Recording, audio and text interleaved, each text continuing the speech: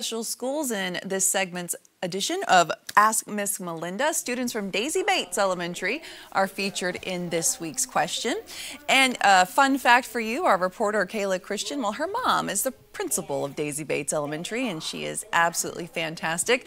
So we read The Very Cranky Bear, and we talked about our jobs here at Channel 7. And our question this week comes from a student named Chloe. Hi, Miss Melinda. My name is Chloe. I got a question. What made you choose the career in meteorology?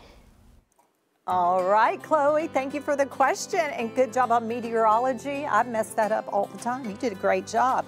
Well, I wanted to let you know, first of all, I didn't grow up wanting to be a meteorologist. I actually liked writing and storytelling until this happened. This was in 1990, way before you were born, Chloe, when downtown Hot Springs flooded.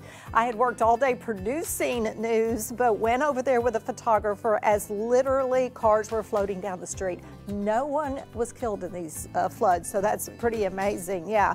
So we spent the whole night there. Uh, the next day went straight back into work, stayed up for two days, uh, covered these for Arkansas as well as national news. And I was just amazed at the power of weather and storms and how quickly this had come up. That's Central Avenue uh, mm. back that, that night in uh, May of 1990. Then a few years later, I was actually on the Gulf Coast, thought I was having a good time and vacation when this happened, Hurricane Opal came on. It wasn't a direct hit where I was, but this was what happened where I was. The storm surge brought sand all over the roadways, parking lots. The wind uh, took down power lines as well. And so I reported on that too.